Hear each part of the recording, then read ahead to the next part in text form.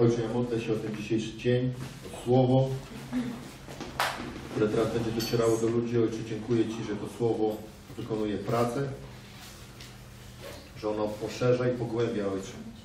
Że Twoje prawdy są wprowadzane i one już pracują w ludziach, Ojcze. Amen.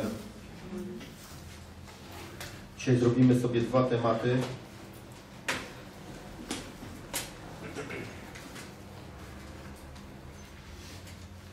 Pierwszy temat sądów bożych.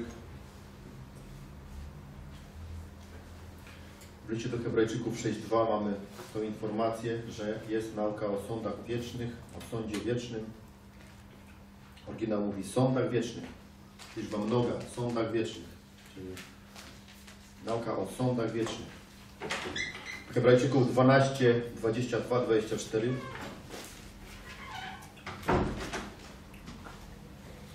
Dwanaście, dwadzieścia dwa, dwadzieścia cztery. Mamy taki tekst.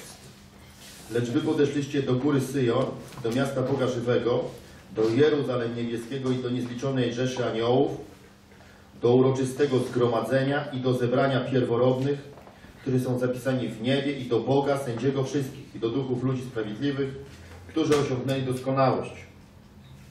Bóg jest sędzią wszystkich. Wielu ludzi chce E, Są dwa nurty w kościołach. Jeden nurt to jest taki, ja mówię to nurt zakonny, jakkolwiek tam zgromadzony wokół czego, czy kościoła katolickiego, czy protestan- protestanckiego, to nie ma znaczenia. Nurt zakonny, który straszy Bogiem, zajmuje się tym, aby e, bóstwo było straszne. Drugi nurt, nurt liberalny, twierdzi, że Bóg to nie jest sędzia. Oczywiście nie zaprzeczają temu, że tak jest napisane, ale mówią, nie on tam nikogo nie sądzi. Ja nawet spotkałem się z takimi e, przekonaniami, jak rozmawiałem czasami z ludźmi, że ja mówię, wiesz, no mówię, no tak, ale idą ludzie do piekła i tak dalej. On mówi, wiesz, to tak nie jest też do końca, chyba nie jest. Ja nie wiem, czy tak jest do końca, że oni tam pójdą do tego piekła, potem Bóg to jest miłością i on coś tam wymyśli. Ja mówię, ty jesteś normalnie przytomnym człowiekiem, jesteś narodzony z Bożego Ducha, czy nie? No i wiecie, jak kiedyś nie potrafiłem e, obronić tych tez i tam się wykłócałem z ludźmi, natomiast prawdą jest to, że Bóg to sędzia. Sędzia wszystkich. Wszystkich. I teraz kilka słów na temat e, sądów, mm, na temat zmian, powiedzmy, między sądami opisanymi w Starym Testamencie, a sądem, mm, który jest opisany w Nowym Testamencie. Tutaj mamy e, dwie różne kategorie. Ludzie, którzy czytają Pismo Święte, często nie potrafią tych rzeczy ze sobą pogodzić i e, widzą Boga, strasznego Boga. Boga, który e, urządza rzezie w tym Starym Testamencie. No i potem widzą Boga, który jest dobrym tatą. No im się to w ogóle nie klei. Nawet powstał nurt taki, który mówi, że Jezus to nie Jahwe. Że to jest niemożliwe, żeby to Jezus był Jahwe. Bo to jakby Jezus był Jahwe, no to, to nienormalne by było. No i ten, są tacy obecnie w naszym kraju propagatorzy takiej herezji, natomiast to, to chodzi o to, że to nie oni to wymyślili, tylko to powstało już ze 2000 lat temu, bo to było zaraz po, jak, jak zaczął powstawać pierwszy kościół, te herezje już wtedy zaczęły się e, pojawiać. Ludziom do głowy to przychodziło, nie umieli tego wytłumaczyć sobie, jak to jest możliwe, Mm, więc y, te herezje twierdziły, że Jachwę to jest szatan. No i ten szatan tak naprawdę, to on tam się pod tego Boga podszył w tym Starym Testamencie i on taką tam orkę robił tym ludziom, nie? Natomiast chcę, żebyście e, zaczęli oglądać od dzisiejszego dnia sąd w zupełnie innych kategoriach. Sąd, drodzy przyjaciele, to nie jest zła wola Boga wobec człowieka. To nie jest też kara za coś. To nie jest kara żadna. Sąd to jest przestrzeń. To jest coś, co jest jakby częścią wszechświata. To znaczy, że jeżeli ktoś na świecie nie chce, realizować Bożej prawdy jakiejś, nie chce słuchać Boga, to w pewnego rodzaju automatyczny sposób wchodzi pod sąd. O, to, to jest coś takiego. Dlatego na przykład em, ludzie, którzy nie nawracają się do Boga, nie chcą oddać życia Jezusowi, to o nich jest napisane, że już są osądzeni. Zauważyliście takie coś? To jest w ogóle ciekawa rzecz. Pamiętacie te wersety z Ewangelii Jana? Że ci, którzy nie uwierzyli, nie oddali, już są osądzeni, bo nie przyjęli Syna Bożego jako swojego Pana i Zbawiciela. Czyli oni są, co to znaczy, że oni są osądzeni? No przecież nie było jeszcze sądu przed Wielkim Białym Tronem. Co to oznacza? Oznacza to, że istnieje coś takiego jak przestrzeń sądu. Że ten sąd to nie jest werdykt jedynie, bo to my krzywo patrzymy, to werdykt. Jesteś skazany na tyle i tyle, wiecie. Mnie całe życie sądy skazywały i dla mnie sąd to mi się kojarzył z tym, że tam wychodzę i ja dostaję informację, że za to, co tam zrobiłeś, jeszcze wtedy miałem inne, nazwisko, nie nazywałem się Ceroński, bo w pewnym momencie mojego życia przyszło mi do głowy, żeby zmienić nazwisko na nazwisko żony, bo sobie pomyślałem, jestem nowym stworzeniem w duchu, to jeszcze zmienię nazwisko, bo cholera nie lubię tamtego. No i zmieniłem nazwisko. Nie wiem, po co nazywam się Piotrowski, po Piotrze. Może jakbym się Pawłowski nazywał, to po Pawle, bo taki Pawłowy byłem, tym nie zmienił.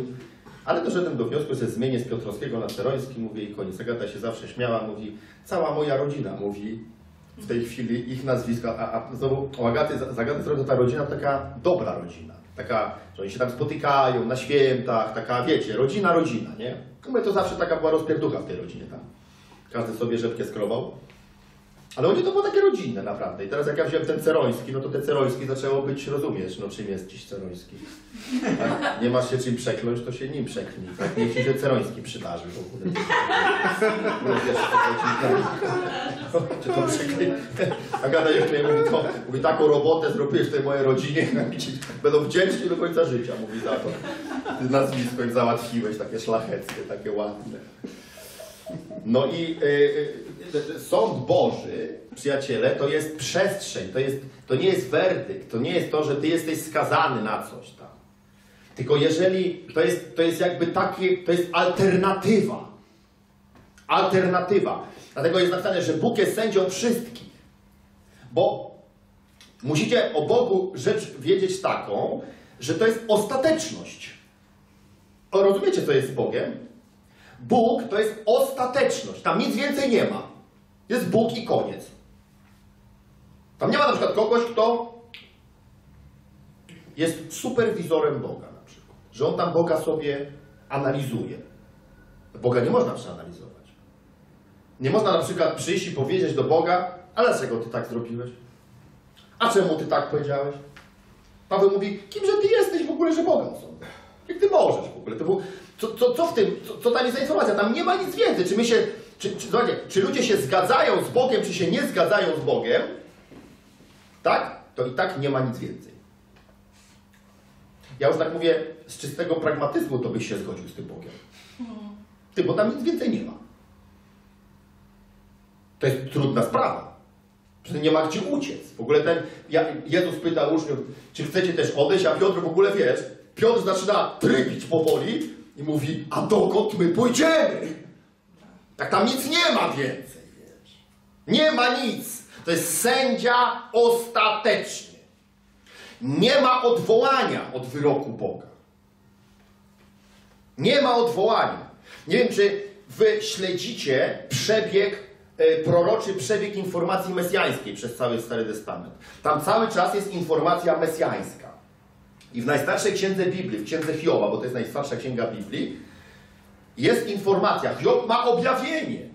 I w ogóle Hiob załamany jest, rozumiecie? Tutaj w ogóle wszystko. Baba go zostawiła, tutaj w ogóle w koledzy, dzieci umarły, ten, ten chory, tak? I on w ogóle w tym, w tym takim bólu mówi do niego tak, mówi do Boga tak. Wstaw się za mną sam przed sobą. On zaczyna mieć objawienie Mesjasza, wiesz. On ma objawienie Mesjasza, że w ogóle przed Bogiem za ludzkością może się tylko Bóg wstawić. To nikt się nie wstawi, bo kto się wstawi? To nie ma kogo. Bóg jest ostatecznością, nie? Dlatego ja chcę, żebyście zobaczyli, że sąd Boga to jest pewnego rodzaju alternatywa dla posłuszeństwa. Czyli albo ktoś jest posłuszny, tak? Albo wchodzi pod sąd. I teraz ruszamy w stronę analizy Starego Testamentu. W Starym Testamencie sąd Boga jest rzeczą nie, niechronioną. Nie ma takiego, nie ma ochrony przed sądem Boga. Nie istnieje ochrona przed sądem Boga. Czy to znaczy, że Bóg w Starym Testamencie ma złe intencje, czy to jest jakiś gorszy Bóg? Nie, to jest ten sam Bóg, to jest dobry tata. Cały czas to jest tatuś. Tatuś. Tylko ten tatuś jest, jak wam powiedzieć, najbardziej podobny do prądu elektrycznego. Bóg jest jak prąd elektryczny. Czy można powiedzieć, że prąd jest zły? No absolutnie nie. Ale na przykład mój kolega, tak, z osiedla, on y, w wieku tam lat 15 czy tam iluś, szedł sobie z jakimiś tam pannicami w wieku i postanowił e, zaimponować im w ten sposób, że się wdrapie na transformator. I tam było 15 tysięcy wrotów. I on tam sobie wlazł. Nie? I on, debil pierwszej ligi. I on wyciągał rękę, żeby się złapać jakiegoś tam występku kolejnego, taki stary betonowy transformator. On tam właził sobie po nim, nie? I łuk się wytworzył między jego ręką a przewodem, który tam był. Rąbnęło go, rozłożyło, padł na ziemię, skrzepy na płucach. W ogóle przeżył, no nie? Ale dramat z nim się w ogóle zrobił, z tym chłopakiem. Zaczął mieć bardzo duże problemy z drogami oddechowymi. Nie wiem, jak jest z nim dzisiaj, trudno mi powiedzieć. Generalnie załatwił go prąd. Pytanie, czy my powiemy, że prąd jest zły? No skądże? Dzięki temu prądowi w ogóle działa mikrofon, działa lampa, wszystko jest w porządku, tak? Natomiast jak zauważyliście, istnieją ogólnie przyjęte zasady obsługi prądu. Na przykład gniazdko, ujście prądu, tak? I zasada, wkładamy tam wtyczkę, tak? Nie bierzemy sobie drutu, prawda? I nie mówimy, zobaczymy jak prąd działa. Prawda? Bo jak sam się tam wsadzisz drut, to jak cię pieprznie, rozumiesz o co chodzi, to anioła zobaczysz. Więc to w ogóle okazać się może, że prąd, który tam jest i który jest dobry w swojej naturze, bo prąd jest po to, żeby służyć ludziom. To jest dobra rzecz ten prąd. Okej? Ale okazać się może, że jeżeli ty nieodpowiednio podejdziesz do tematu prądu, to prąd cię może zniszczyć. Pracowałem kiedyś, przyjaciele, bo zamierzałem zostać elektromechanikiem, taki miałem kaprys w życiu. I pracowałem, miałem praktykę w elektrociepłowni Siekierki w Warszawie. I tam była taka stacja mocy. Była gumowa podłoga i były bezpieczniki mocy i tam był taki gumowy kostium i dyżurny elektryk, ponieważ to coś za, y, daje prąd na 1 trzecią Warszawy. Tak? I ogrzewa też 1 trzecią Warszawy. I był tam elektryk, który był dyżurnym elektrykiem. No i oczywiście elektryk tam miał obowiązek wymieniać bezpieczniki mocy, jeżeli wysiadły. I wymiana miała polegać na tym, że on miał ubierać ten gumowy strój i takim długim kołkiem miał ten bezpiecznik wyjmować. No ale przecież wiemy, że elektryk to jest fachurka. Jak on jest 30 lat elektrykiem, to czego prąd? Tak, prawda? Był po kilku browarach, siadł bezpiecznik mocy. Elektryk, ponieważ był fachurka, postanowił tam wejść bez kostiumu gumowego. Rozumiecie? Zmietli elektryka. Spaliło go na proch. Na proch. Szok. Prąd go zabił. Prąd, który daje energię elektryczną i daje ciepło na jedną trzecią Warszawy. To dzięki temu prądowi dzieci nie marzną w domach, żywność się nie psuje w sklepach. I teraz chcę, żebyście zobaczyli Boga. Bo Bóg jest jak prąd. W Starym Testamencie nie istniała instrukcja podejścia do Boga. One, te instrukcje podejścia do Boga, były bardzo prymitywne. Zakon to była jakaś instrukcja podejścia. Rozumiecie? Jakaś instrukcja. Ale też ona była niedoskonała, ponieważ opierała się na usiłowaniu człowieczym. I teraz ja drugą rzecz, którą w ogóle chcę, chcę, żebyście zrozumieli na temat Boga, to jest to, bo istnieje taka herezja, że w ogóle Bóg To jest taka postać, która tak tworzy. On tak chodzi, stworzył sobie ziemię, se stworzył, gwiazdkę se stworzył. Wiecie o co chodzi? Ja w ogóle nie sądzę, że tak jest. Ja nie sądzę, że to w ogóle tak było. Pamiętacie, jak was uczyłem e, na temat demonów, że między pierwszym a drugim wersetem Biblii to mogły miliardy lat minąć. W ogóle nauczania pod tytułem, że w ogóle wiesz, Bóg się przeciągnął, wstał poniedziałek. Wiesz o co chodzi? Stworzył coś. Tak? Potem sobie stworzył coś wtorek, środa i tak się tym wszystkim zmęczył, że się w sobotę zrzemnął. To w ogóle jakieś szaleństwo jest, rozumiesz o co chodzi? Oni tylko tak to umieli przekazać. Tamte ludy umiały tak to przekazać, tak to nazwać. Rozumiecie? My nie możemy w ogóle uznawać tego rodzaju w ogóle rzeczy. Tak?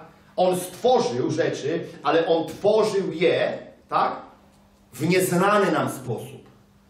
Ponieważ Bóg to twórca. Jak on to tworzył? Ja nie wiem, jak tworzył. Rozumiecie? Ja nie wiem, jak tworzył te rzeczy. Wiem natomiast, że to twórca. I dlatego też musimy zrozumieć, że w czasach Starego Testamentu powstawały rzeczy, tak? Które nie miały formy doskonałości. Zakon nie był doskonały. Ktoś powie, jak to? Doskonały Bóg stworzył niedoskonały zakon. No właśnie. Jest to możliwe z tego powodu, że doskonały Bóg, tak, tworzy z niedoskonałych rzeczy.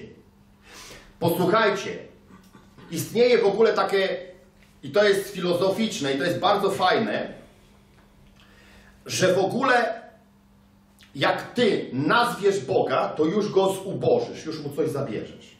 Że w ogóle jak ty powiesz, że Bóg to Bóg, to to już będzie coś mniejszego. Bo my mamy tendencję do spłycania rzeczy. Rozumiecie? Człowiek, y, człowiek nie ma tendencji do rozbudowywania rzeczy. Y, w ogóle tylko spójrzmy na historię człowieka. Adam z Ewą, potężne byty, którym aniołowie w ogóle się przyglądają z zachwytem. Wszystko pięknie, widzą Boga, mają z Nim głęboką relację, tak? Szok. Coś w ogóle, co jest marzeniem w ogóle naszej psychiki dzisiaj. Chodzą sobie pięknie, tutaj nie ma diabła, no rewelacja, w ogóle nie ma grzechu, elegancko wszystko, tak? I w ogóle Ewa wdaje się w dialog z wężem. W ogóle nie... Posłuchajcie, my dzisiaj używamy kilka procent mózgu, oni używali 100%. U nas mózg został, uległ degradacji w ogóle przez grzech. 100% mózgu. Ona stoi i rozmawia z wężem. W ogóle ona się nie dziwi, że wąż mówi. To dla niej nie jest dziwne. Ona sobie, dwa w ogóle już nie mówię, że ten wąż ma nogi w ogóle, wiesz, to w ogóle już nie, nie bierze tego pod uwagę, ale jak, jakkolwiek, to nie, totalna arogancja w ogóle na zjawisko. W związku z tym musimy zrobić założenie, że stworzenie jakie jest ułomne.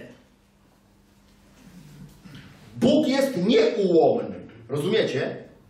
Doskonały, ale to, co tworzy Bóg, automatycznie przestaje być doskonałe, bo Bogiem samym już nie jest. Bo gdyby Adam z Ewą byli doskonali, tak? No to by nie upadli. Ale niestety upadli. I stworzenie w wyniku tego cały czas ulega degradacjom różnym. Pamiętacie z Biblii, na początku ludzie żyją po 900 lat, po ileś, rozumiesz, nie ma chorób, w ogóle wiesz, no nie, różne rzeczy się nie dzieją tak?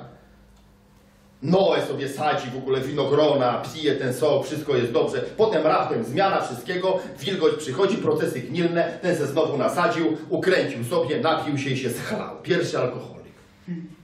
Noe. Że on nie był świadomy w ogóle o co kama. Mówię, ale dobry sok. Kopie. Człowieku, rozumiesz co chodzi?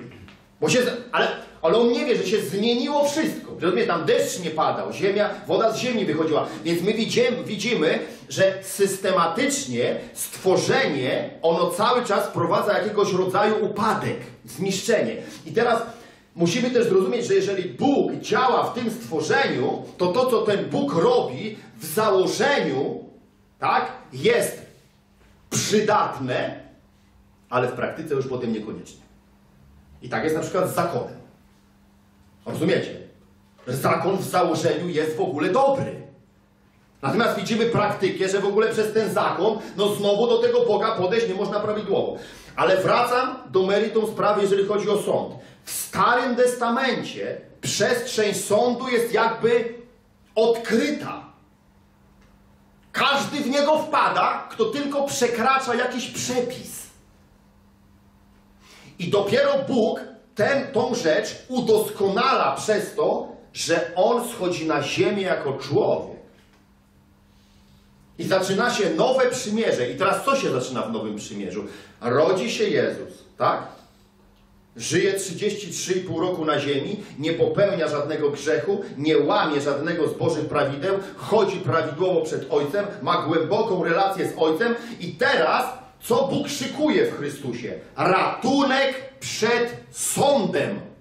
Jak On nas pokochał, ten Bóg? Przed sądem nas uratował. Ja zawsze do ludzi mówię, ludzie, Bóg nas uratował sam przed sobą. Ludzie mówią, przed diabłem nas Bóg uratował. Ja Mówię, diabeł w tym wszystkim to jest menda społeczna. On jest krótki jak fiutek krasnoludka. Taki jest diabeł. A ktoś, kto go przecenia, to ma problemy. To Bóg jest autorem sądu. I Bóg w Chrystusie uratował nas od siebie samego. Dlaczego? Bo tak nas kocha. Tam diabeł to przy okazji dostał w łeb. To Menda się wyrwała, człowieku lider uwielbienia, on myślał, że pociągnie jej do trzecią grupy uwielbienia i zbuduje kościół. Rozumiesz? On tak myślał. Że on raptem wyskoczy jak e, Filip z Konopi i on teraz tutaj założy organizację. Się pomylił.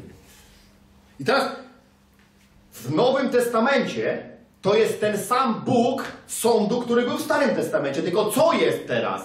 Ochrona. Teraz mamy świetnego adwokata.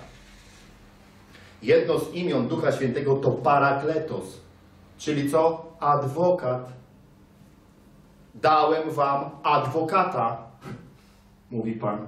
Adwokata.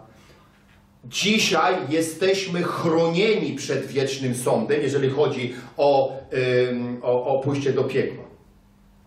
Każdy, kto przyjmie Jezusa, nie pójdzie do piekła. Uciekł przed tym pierwotnym, głównym nurtem sądu. Ale każdy, kto nie przyjdzie Jezusa, pójdzie do piekła, bo sąd jest. Sąd się nigdzie nie wyniósł. Bóg nie zlikwidował sądu. Ludzie myślą, że przyszło nowe przymierze, przed Bóg, zwinął sąd, włożył w kieszeń, wyszedł. Sądu teraz nie ma. Teraz jesteśmy w kraju, gdzie nie ma władzy sądowniczej. Jest tylko władza ustawodawcza i władza wykonawcza. Sądowniczej nie ma. Jest. Bo jest napisane jak w. Bóg jest sędzią wszystkich. I my musimy to zobaczyć, zrozumieć to.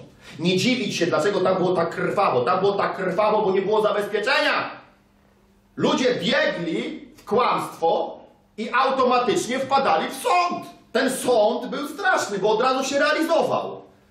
Ginęli, rozumiecie? Mieli problemy, przychodziły różnego rodzaju kłopoty dla nich. A dzisiaj mamy kogo? Ochroniarza. Ma na imię Jezus, z zawodu jest Chrystus. Rozumiesz? I my musimy zacząć to widzieć. To się nie zmienił sąd. Ja kiedy uczę o Bogu, to mówię ludzie, jednym, będę jak będę o charakterze do was, o, was uczy, to wam, to wam to będę mówił, że, że w ogóle Bóg, jed- jednym z atrybutów Boga to jest niezmienność. Dlaczego ja wierzę w tego Boga? On jest niezmienny. Rozumiesz o co chodzi? On nie ma humoru, on nie ma focha, on nie ma w ogóle trudnych dni, rozumiesz? On nie ma takich rzeczy. To jest mój Bóg. Stały, niezmienny. Nie śpi i nie drzemie stróż Izraela. Rozumiesz? To jest to w ogóle, skała nasza. On nie zmienia zdania. On nie zmienia zdania. Bóg w ogóle nie zmienił zdania. Ludzie myślą, że Bóg, że Bóg w Chrystusie zdanie zmienił. Że tam był taki w ogóle ostry, taki, mm, taki o. A teraz stał się łagodny, no taki jest, mm, taki wiesz. Absolutnie. To w ogóle nie jest oswojona postać. Boga nie można oswoić. Nie można oswoić Boga. Bóg to Bóg sędzia. I On zawsze był dobrym tatą i On zawsze był dobrym sędzią. To jest sędzia sprawiedliwy. Sędzia sprawiedliwy. Ja stawałem przed różnymi sędziami. Sprawiedliwymi i niesprawiedliwymi. Jak zabiłem człowieka, stanąłem przed takim sędzią. Już wtedy kara śmierci było, była było mora- moratorium na karę śmierci. Ale zostałem poinformowany na pierwszej rozmowie z sędzią, że będzie się do mnie domagał, dla mnie domagał 25 lat pozbawienia wolności. Rozumiesz? Potem się dowiedziałem, że ten sędzia za komuny podpisywał wyroki śmierci i to była jego domena. To był człowiek, który skazał na szubienicę kupę, kupę ludzi. Ja nie wnikam w innych czy niewinnych, bo to nie o to chodzi. Ja nie wiem. Ale wiem, że takiego miałem sędziego. Jak e, ojciec mój przestał pić, założył firmę, bo ojca mojego bardzo tąpnęło, jak ja poszedłem siedzieć do więzienia. Zobaczył, że życie spieprzył w ogóle i w ogóle wyszedł z alkoholizmu, nie? Wyszedł z alkoholizmu. W ogóle był alkoholikiem wiele lat i bez niczego mój ojciec przestał pić. To był taki strzał na jego głowę, rozumiecie, że przestał pić. Założył firmę dekarską, zaczął normalnie funkcjonować, zaczął zarabiać kasę i wziął mi świetnego adwokata, tego najlepszych w Warszawie wtedy. I ten adwokat doprowadził do tego, że e, ja zbił mi artykuł, ja mogłem dostać tylko 10 lat. Tam, że zbił mi na pobicie ze skutkiem śmiertelnym, tak, tak, tak to zrobił. To nie było morderstwo z premedytacją, zresztą bo nie tam nie chciałem faceta zabić. No. Natomiast e, ten sędzia, jak on e, werdykt odczytywał, cie- ciekawy taki sędzia był, i on mówi tak. Dzikie zwierzęta powinny siedzieć w zoo, a dzicy ludzie w więzieniach. Mogę dać oskarżonemu 10 lat i 10 lat daję. Mógł mi rok dać. Mógł dwa lata dać, trzy. Bo to naprawdę, wiesz, że się biłem z facetem, nie chciałem faceta zabić, no bez przesady. No. Byłem agresywny, ale nie miałem takiego morderczego zapędu, żeby to zatłuc chłopa. Po co? Tak? Natomiast chodzi o to, że to był sędzia taki, jaki był, tak? Ale Bóg to jest sędzia sprawiedliwy. Co to znaczy, że on jest sprawiedliwy? To znaczy, że tam nie ma czegoś takiego, że tam jest jakaś forma złośliwości, jakaś forma, i, rozumiecie, zemsty czy coś tam. To nie, to czyste jest. Czyste. Musisz widzieć Boga jako czystego sędziego. I musisz rozumieć, że umknąłeś przed sądem nie dlatego, że ty jesteś fajny, rozumiesz? Tylko dlatego, że Jezus Chrystus jest ochroną Twoją. Jezus Chrystus Ci się przydarzył. To jest ochrona Twoja. To On Cię przed sądem uratował. On Cię przed Bogiem uratował. On Cię przed samym sobą w cudzysłowie uratował. Rozumiesz? Bóg Cię uratował przed samym sobą, tak? Przed samym sobą. Takie te, te, te tematy związane w ogóle z tą śmiercią, to już my widzimy w Starym Testamencie, kiedy na przykład w ogóle Mojżesz na górze jest i tam Bóg się mu objawia. No jak się, no co, co za, jak, jak się Bóg objawia? Kto to się objawia? No Jezus się objawia. W ogóle wszelkie objawienia Boga w Starym Testamencie to są objawienia Jezusa. Ojca nikt nigdy nie widział. Wiecie co to jest zobaczyć Ojca? Czy jak my byśmy zobaczyli Ojca, to byśmy się rozpadli na atomy. Już nie możemy Boga zobaczyć, że to jest Bóg, to jest jakiś zgredzik z brodą, co tam chodzi, proszę Ciebie, rozumiesz, to, to fajny facet, że jest. To Bóg jest, ludzie, Bóg. Bóg. Ja naprawdę mam bojaźń Bożą. Ja się nie boję Boga, bo bojaźń Boża to nie jest lęk przed Bogiem. Ale ja zderzywszy się z tym majestatem, rozumiecie, zderzywszy się z majestatem, po prostu we mnie powstała bojaźń Boża. Ja zobaczyłem, że to jest ostateczność nie ma nic więcej. Tam sobie nie pogadasz. Jak ja pamiętam w więzieniu ludziom głosiłem Ewangelię, pamiętam taki był artysta, dzisiaj to jest nasz brat w Chrystusie, a wtedy był taki artysta, bujał się człowieku, wiesz, mówi, no ja tam pójdę do Boga, pogadam, ja mówię, chłopie, chłopie, ty se pogadasz z Bogiem, pogadasz se. Człowieku, bo ty myślisz, że to tam pójdziesz, że tam siedzi, proszę ciebie, rozumiesz, wąskonosy emeryt, proszę ciebie, yy, rozumiesz, z przerostem, proszę ciebie, jakimś ambicjonalnym i on będzie z tobą dyskutował teraz, tak? No Ty, ty, ty, ty jesteś chory na głowę. Dwa lata mu zajęło, zanim się nawrócił. Musiał dwa lata przekręć. Chłopa. Ale widzimy, że takie są różnice. I teraz yy, patrzymy dalej. Ewangelia Jana 5, 22, 23 mówi tak. Aby wszyscy czcili syna, jak czczą ojca, kto nie, czci, kto nie czci syna, ten nie czci ojca, który go posłał. Zaprawdę, zaprawdę, zaznaczam, bardzo ważne, kiedy jest dwa razy zaprawdę, jest to bardzo ważna informacja. Zaprawdę, zaprawdę powiadam wam, kto słucha słowa mego i wierzy, wierzy temu, który mnie posłał, ma żywot wieczny i nie stanie przed sądem, lecz przeszedł ze śmierci do żywota. Zobaczcie. Czyli w ogóle kto stanie przed sądem? Ten, kto nie słucha słów Jezusa. Co to znaczy słów? Czy to znaczy, że tutaj chodzi o wszelkiego rodzaju wytyczne duchowe? Nie. O słów Jezusa jako Mesjasza. Czyli ktoś, kto nie przyjmuje Jezusa, to staje przed sądem. Koniec. To jest zamknięty temat.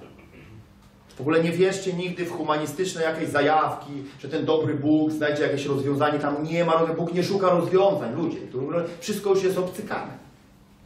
To jest kropka załatwiona.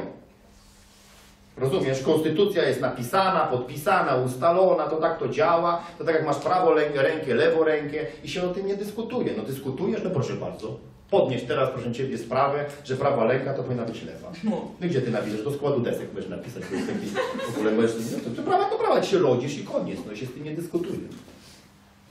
Nie dyskutujemy z Bogiem. Z Googlem podyskutuj. Chcesz podyskutować. Nie z Bogiem! No jak z Bogiem dyskutować?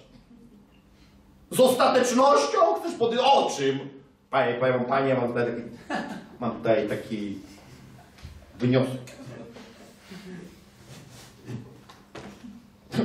On, on w ogóle nie reaguje. Wie- Wiesz, o co chodzi? Na takie rzeczy. Człowiek mówi, a Bóg ze mną tam rozmawiał. Ja mówię, czego ty z własną panią gadałeś? Jak ty w ogóle wniosek wnosisz jakiś tutaj wniosek, mam wniosek, to ty z bańką swoją gadasz. Przecież to, jest, to Bóg jest. Bóg. Ja bym bardzo chciał, żeby chrześcijanie nie rozmawiali ze swoimi głowami. Bardzo. To są niebezpieczne miejsca. Tam nie wolno samemu się wybierać na wycieczki. Do umysłu nie wolno. Ludzie to na pole minowe lepiej iść. Naprawdę, bo to z pola minowego przez wiarę wyjedziesz. Taki chłopak od nas z kościoła w uwielbieniu gra, tam w Bośni wjechał na pole minowe, przez wiarę wyjechał z pola minowego. Rozumiesz o co chodzi? Jeszcze zdjęcia nam przysyłał, proszę Ciebie, wiesz, że modlił się Panie Boże, mówi, wyjeżdżał w ogóle w nocy z pola minowego. I wyjechał. Tak. Ale to w głowie to nie wolno się tam udarzyć. Na wycieczki. Ta sama Ewangelia Jana, 5 rozdział, 26-27 werset, mówi tak. Zaprawdę, zaprawdę, powiadam wam, zbliża się godzina, owszem już nadeszła, słowo wiary wypowiedziane, kiedy umarli usłyszą głos Syna Bożego i ci, co usłyszą, żyć będą. Jak bowiem ojciec ma żywot sam sobie, taki dał synowi, by miał żywot sam sobie. Widzimy, że Jezus otrzymuje od Boga atrybut ostateczności. Co się dzieje? To jest atrybut osta- ostateczności. Co to znaczy? Znaczy, że Jezus to jest ostateczność. Kiedy głosimy Ewangelię, to mówimy do ludzi, nie głosimy wam alternatywy. Głosimy wam ostateczność. Kiedyś w takiej szkole głoszę Ewangelię, zaprosili mnie na godzinę wychowawczą, potem nauczycielka żałowała, ale w trakcie już nie mogła tego skończyć. Usiadła z tyłu i miała głowę w rękach. Ja zacząłem głosić przy tablicy, głoszę, głoszę i w pewnym momencie mówię, bo miałem mówić o narkotykach, no oczywiście zeszliśmy jak zawsze w szkołach na temat Jezusa. No i, i, i, i, mówię im o Jezusie, mówię, mówię, jest ogromna różnica. Są, mówię, dwie kategorie ludzi na świecie, wbrew obiegowej opinii, że wszyscy są równi. Wszyscy równi nie są. Są ludzie odrodzeni z Bożego Ducha i reszta. I mówię, ci odrodzeni z Bożego Ducha to jest elita, popularnie zwana Kościołem. Część jest na ziemi, a część już w niebie. I mówię, każdy, kto się do tej elitarnej gru- grupy dołącza poprzez nowe narodzenie, tak, jest zwycięzcą. Reszta idzie do piekła. I taka siedziała pannica tam, rozumiesz, ładna, taka fajna, i ona tak się zdenerwowała, bo ona stała, to co mówi? To znaczy, że jak ja jestem nienawrócona, to jestem gorsza? Ja mówię, absolutnie, jesteś martwa. Ona przysiadła. Ja mówię, a kto nie chce być martwy pod tablicę, jak poszli, człowieku. Nie wiem, ludzie się nawróciło w Krakowie, rozumiesz? Pierwszy taki chłopak, a to klasa maturalna. Pierwszy taki chłopak przyleciał, a tu na, na górze była świecka szkoła, na dole chrześcijańska. Ten chłopak potem e, mówi do mnie, mówi, co mam zrobić? Ja mówię, ty, na dole jest taki wierzący dyrektor, mówię, bo ten wasz to nie wierzący, a tam na dole jest wierzący, idź do niego, powiedz, że, że się narodziłeś z Bożego Ducha. Jak on poleciał do tego na dół dyrektora, rozumiesz? Nie wiem, co to już tam było dalej, ale Ona mówi, że oto ona gorsza. Nie, ludzie nienawidzeni nie są gorsi, bo to się nie w tych kategoriach mierzy. Bo dobry i zły to nie jest kategoria miary Boga. Bóg w ogóle w ogrodzie Eden powiedział do ludzi, ludzie, ze wszystkiego sobie jedzcie, tylko nie z tego drzewka. Nie patrzymy, co jest dobre, a co złe.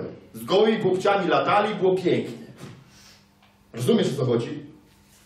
I bez żenady i super jest. Bo oni nie wiedzieli, co to dobro i co zło. Bo Bóg nie chciał, żeby ludzie wiedzieli, co to jest dobro i zło.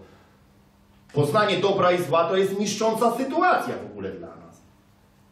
Tak? Potem sumienie trzeba było w nas stworzyć, taki specjalny organ do rozróżniania dobra od zła. Teraz mamy takie coś, rozumiesz, nam daje informacja. To jest dobre, a to złe.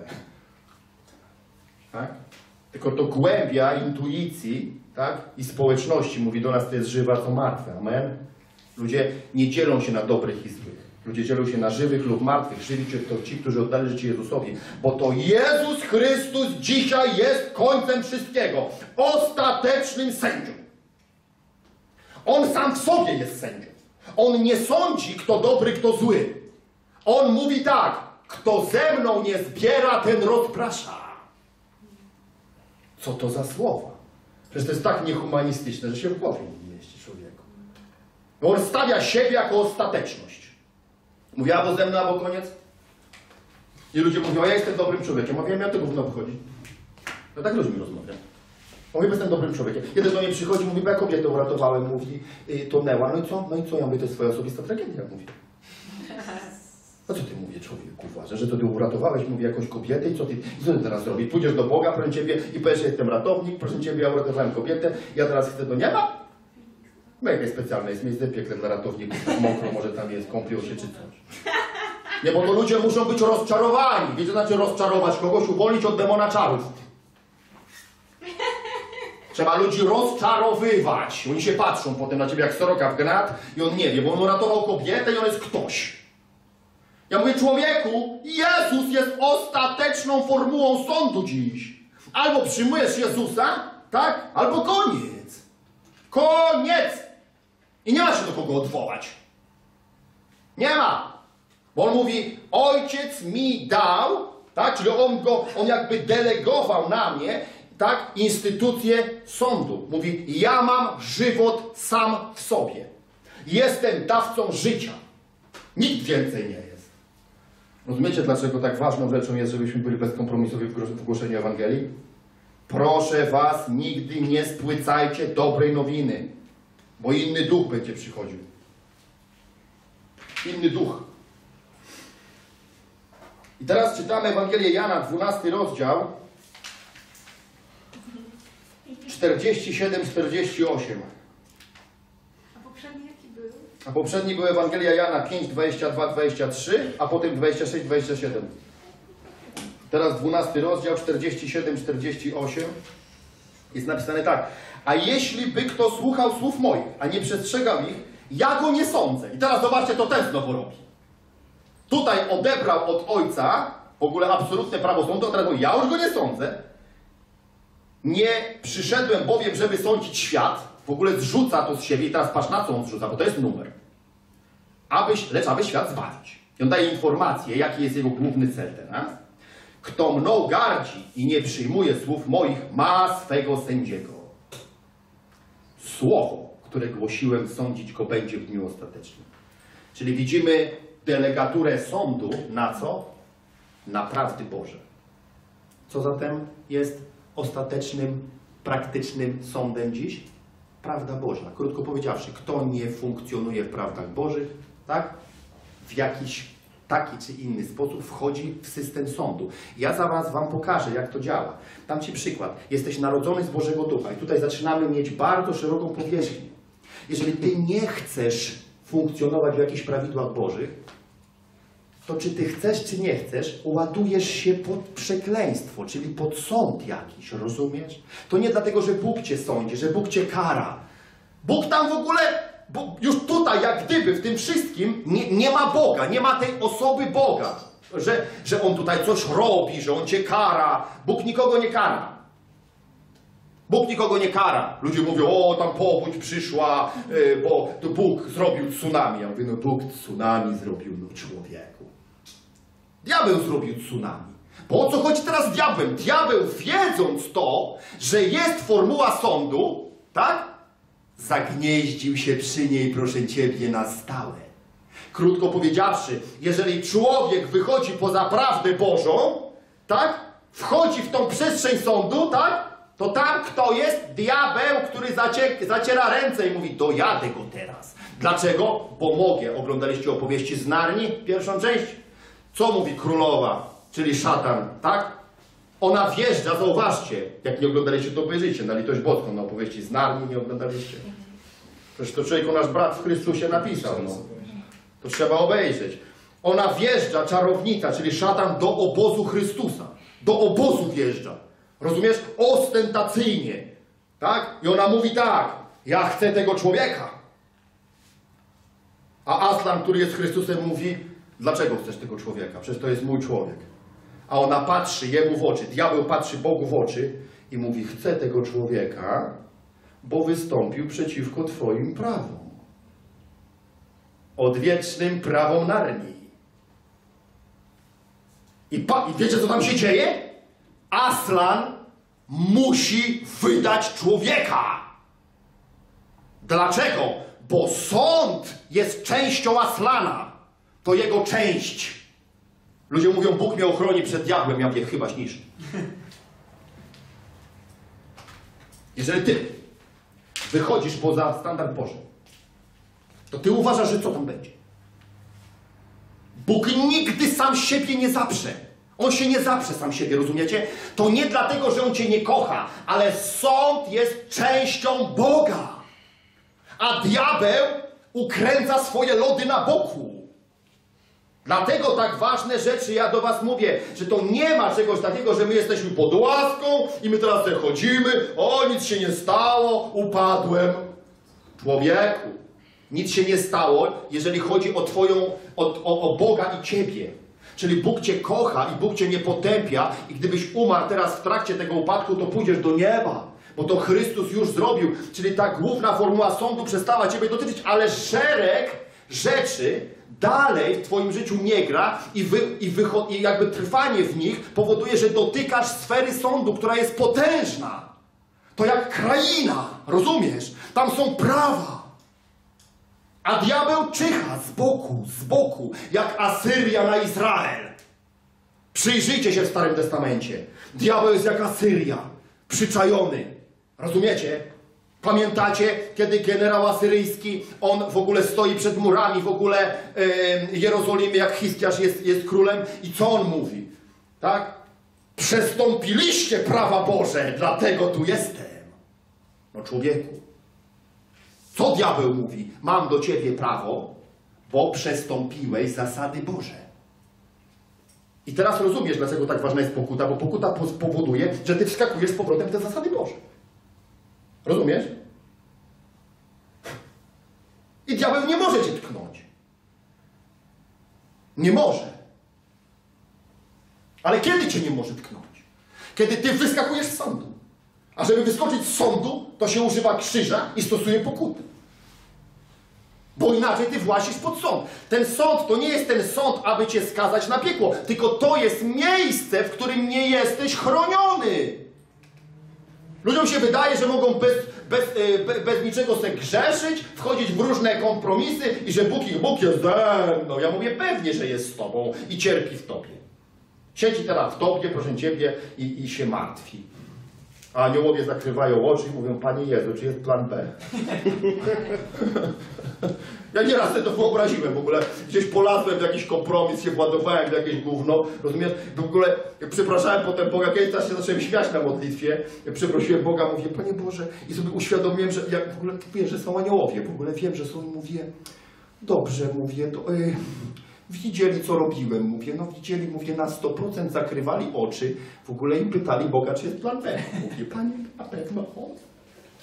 To on ma ludzi prowadzić, tam kościół ma założyć jakiś duży. O, o na pewno.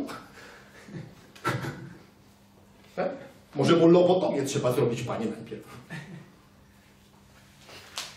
Szok.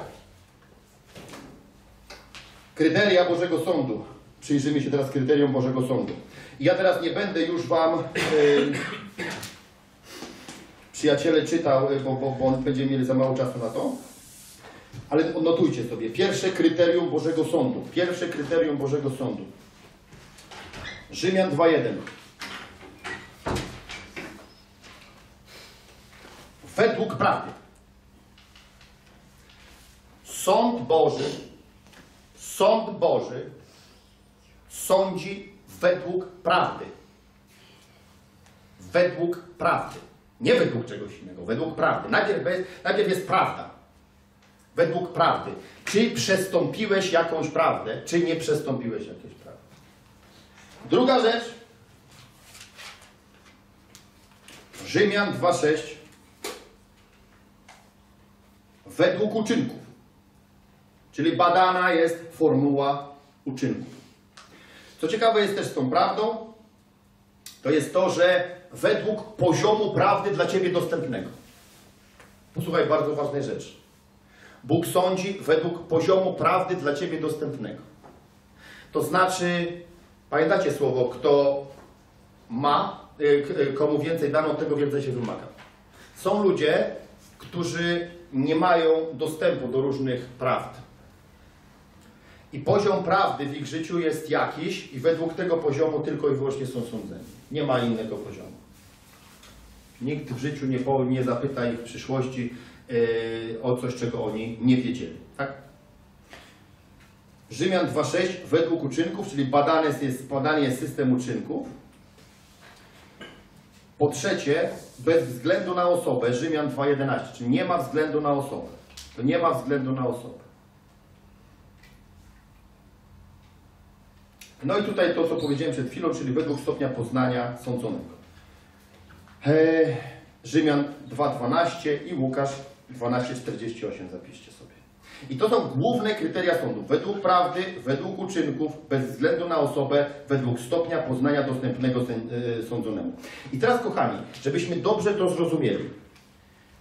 Główny temat sądu został załatwiony w Chrystusie Jezusie. Co to oznacza? To oznacza, że każdy człowiek, który przyjmuje Jezusa Chrystusa jako Pana i Zbawiciela, tutaj na ziemi, na pewno pójdzie do nieba, bez względu na to, co się stanie w jego życiu. Na pewno też nie stanie przed sądem, o którym jest mowa, i nazywa się to sąd Wielki Biały Tron. Tam nikt z nas nie stanie. Ponieważ jak zaraz Wam pokażę, sądów jest wiele. To jest wiele form sądów. To nie jest tylko jeden sąd. Tak? To nie jest to ten sąd przed wielkim białym tronem, bo ten sąd przed wielkim białym tronem to jest sąd, na którym nas nie będzie, ponieważ ten sąd dotyczy, nie, będzie, nie dotyczy ludzi, którzy są e, zapisani w księdze życia. Wygląda to w ten sposób, że ten sąd się zbierze, ja za chwilkę o nim powiem, i najpierw zostanie otworzona księga życia. I w księdze życia zostaną sprawdzone nasze imiona. I każdy, kto jest zapisany w księdze życia, w ogóle nie stanie na ten sąd. To jest w ogóle pierwsza książka otworzona, jest. Jest. Dziękuję bardzo. Odkładamy. Tak? Reszta zostaje. Rozumiesz o co chodzi? I teraz jest otwierana co? Druga książka. Książka uczynków. I chłopaki dziewczyny według uczynków swoich. Nie chcieliście Chrystusa, tak?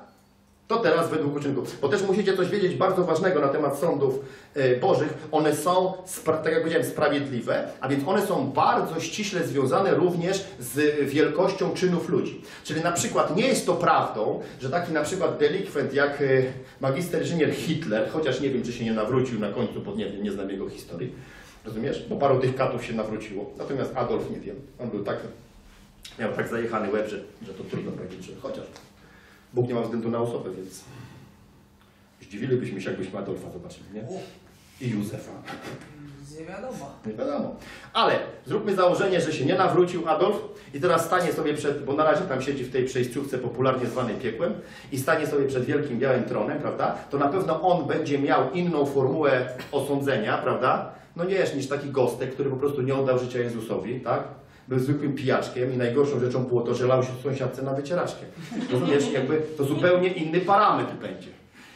Bo Bo Bóg to nie jest takie coś, że On wszystkich bierze, wrzuci tam do tej gehenny, czy do tej drugiej śmierci, tam w ogóle wiesz, mielcie się. Bo to tak nie jest. Pamiętajcie, to jest dobry Bóg. Sprawiedliwy sędzia. Tak jak są więzienia o zaostrzonym rygorze, jak są różne sankcje karne, tak też będzie przebiegał żywot, tak? Przez przynajmniej pewien okres czasu, ponieważ ja osobiście uważam, że kiedyś Gehenna zostanie zutylizowana. Takie jest moje, takie jest y, moje zrozumienie w ogóle całego zjawiska. Nie wiem kiedy. Natomiast kary zostaną odbyte, tak? Najbardziej pojechane będzie miał Lucyfer w tym wszystkim. No. Rozumiesz? Demony też będą miały nielekko, tak? Ale ludzie też będą sądzeni zgodnie z uczynkami, które popełnili, czyli jakość kary, bo to jest coś takiego, że tam jakość kary będzie zgodna z uczynkiem, a dla nas chrześcijan jakość nagród będzie zgodna z uczynkiem i o tym za chwileczkę będę mówił. A więc widzimy cztery kryteria sądu. Według prawdy, według uczynków, bez względu na osobę i według stopnia poznania dostępnego sądzonemu. I teraz rodzaje sądów. Pierwszy sąd. Sąd nad ludzkością wylany na Chrystusa, czyli o tym, co mówimy. Pierwszy sąd Boga zostaje wylany na Chrystusa. Po co? Aby ochronić ludzi przed sądem, On sądzi samego siebie w postaci Syna swojego. Szok. Sam siebie niszczy, aby nie zniszczyć ludzi. Niszczy siebie w postaci człowieczej, tak? Aby zamknąć temat Homo sapiens. Homo sapiens rozwaliło system i ostatni Homo sapiens, czyli ostatni Adam, przybity do krzyża i teraz zaczynamy nową epokę. Wszystkie sądy Boże, które widzimy w Starym Testamencie, były wymuszone przez ludzi poprzez ich zachowania. Bóg nie mógł nie osądzać, ponieważ sąd jest częścią Jego osoby. Kodujcie sobie te rzeczy. Żeby ochronić ludzi przed Jego sądem, zszedł na ziemię jako Jezus, wylał cały swój gniew na siebie samego. To muszą być dla nas rzeczy jasne. Ten pierwsze uderzenie sądu i ochrona ludzi i stworzenie dla, dla nich alternatywy. Tak? To jest to. Następna rzecz, sądy Boże w czasie obecnym. To jest ciekawa rzecz. Wyrażają się poprzez samosądzenie się ludzi, czyli nowe narodzenie, pokuta, nawracanie się i tak dalej. Co to znaczy? Co to jest, jak ty pokutujesz? Ty się co? Osądzasz. A więc czym są obecne sądy Boga? Obecne sądy Boga to nie jest tsunami, to nie są pożary, to nie są zniszczenia, to nie są wojny. Ludzie mówią, Bóg zesłał wojnę. Ja mówię, ale po co? Bóg nie zesłał wojny. Bóg nie sądzi w ten sposób. Rozumiecie? Bóg nie sądzi w ten sposób. To jest nieprawda, że Bóg sądzi w ten sposób. Bóg tak uwalnia informacje o sądzie do serc ludzi. Osądź się. Mówi, uznaj, że nie znasz Jezusa. Tak? A jak poznałeś Jezusa, jeżeli zbłądziłeś, uznaj, że błądzisz. Pokuta jest częścią sądu. Tak? Jest dlatego napisane w liście do Koryntian. Gdybyście osądzali sami siebie, nie bylibyście sądzeni. Czyli podczas rozdania nagród byście nie stracili. Gdybyście się tu poosądzali, gdybyście pokutowali, gdybyście odwracali się od swoich problematycznych e, zachowań, gdybyście się naprawiali. Rozumiesz? Paweł o tym mówi w ogóle, wspomina te rzeczy. Więc widzimy drugi, drugi jakby drugą odsłonę sądu. Następnie, trzecia rzecz, sąd nad narodzonymi z Bożego Ducha ludźmi. Czyli sąd wieczny, pierwsza odsłona. To jest sąd przed Trybunałem Chrystusowym zwany sądem ku nagrodom. Miejsce i czas sądu. Słowo Boże mówi, że będzie to w obłokach, czyli tuż za bramą nieba. Jest brama nieba, brama nieba i tuż za bramą nieba będzie miał miejsce sąd, nazwany sądem przed Trybunałem Chrystusowym. To jest sąd przed Trybunałem Chrystusowym. Czyli każdy człowiek odrodzony z Bożego Ducha stanie na sąd nie ku potępieniu, tylko ku nagrodom. A więc nas czeka sąd, przyjaciele. To nie będzie sąd ku temu, żeby nas rzucić do piekła. Ale te kryteria sądu, według prawdy, według uczynków, bez względu na osobę i według stopnia poznania dostępnego sądzonemu, nas obowiązuje, bo to są cały czas te same kryteria. Natomiast my już tutaj nie występujemy z miejsca porażki. Już jesteśmy w tym niebie, już nieba nam nikt nie odbierze. Już do piekła nie trafimy, ale czy możemy ponieść stratę? Oczywiście. Oczywiście. Dlatego nasze życie na ziemi, tak, musi wyglądać w określony sposób. I teraz posłuchajcie, bo inaczej nie będziesz miał z czym stanąć na tym sądzie. Jak ty się nie będziesz, przyjacielu, uświęcał, jak ty nie będziesz funkcjonował w królestwie, jak ty będziesz chodził na kompromisy, to ty tam pójdziesz na ten sąd z takim bardzo malutkim materiałem takim. Cieniutka taka teczuszka pod pachą, taki będziesz wyjałowiony.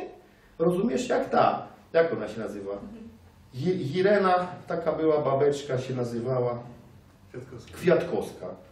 Irena Kwiatkowska. Taka była ak- ak- ak- aktorka. Ona mówi, w 40-latku mówiła, przyjęłam się, mówi, do szpitala i codziennie mnie wyjaławiają. Taka jałowa jestem jak gaza. Nic nie będziesz miał na ten sąd. Nie przyjdziesz z żadnym materiałem. Koło ciebie przemknie twój kolega na przykład z kościoła, proszę ciebie będzie miał taką tekę pod pachą. Wiesz dlaczego on będzie miał taką tekę, a ty będziesz miał taką teczuszkę? Dlatego, że to on się uświęcał, dlatego, że to on dbał o to, aby jego życie miało wysoki standard, dlatego, że to on zapieprzał 24 godziny na dobę, żeby szerzyć królestwo. Kładł swoje życie. A ty masz cienką teczuszkę, bo mówiłeś, Bóg mnie kocha i mogę leżeć do góry kołami.